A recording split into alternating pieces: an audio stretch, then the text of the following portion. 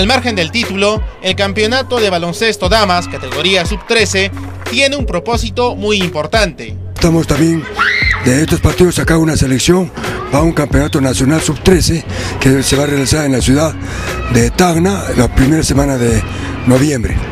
Con miras a dicha competencia, de todos los equipos del torneo se ha formado una preselección que trabaja intensamente. Están entrenando los días martes y jueves de 6 a 8 de la noche en este mismo campo deportivo. Eh, con el profesor Renato Martínez, la selección es de carácter abierta, pueden venir cualquiera niña de sub-13 que piense que puede estar en una selección representando a Arequipa. Una de ellas es Aide Ramos, que juega en el Mercedario y la cual dentro del grupo es la que tiene más experiencia. Sí, ya tenía otra sería el segundo que iría. iría.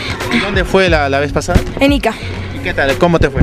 Bien, eh, gané la medalla, la, la medalla de plata, fue un torneo de 18, de 11 categorías, así, una, una evaluación en Ica.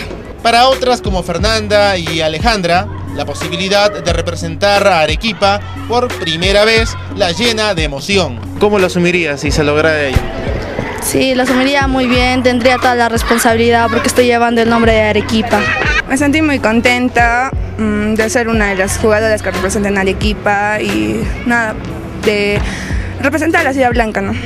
En tanto, y sabiendo que la exigencia de un campeonato de esta magnitud será al máximo de su capacidad, el secreto es aprovechar cada sesión de entrenamiento. Sí, demostrar que, que sí, que antes sí podía viajar, que he podido eh, progresar con mi equipo, con todos los que hemos jugado. Algo nuevo para mí porque, o sea, porque, o sea, es, un, es como, como, como una oportunidad que nos dan para, para sobresalir, ¿no? Eh, como, como las del equipo. Y se siente bien, nervios, pero es una gran oportunidad.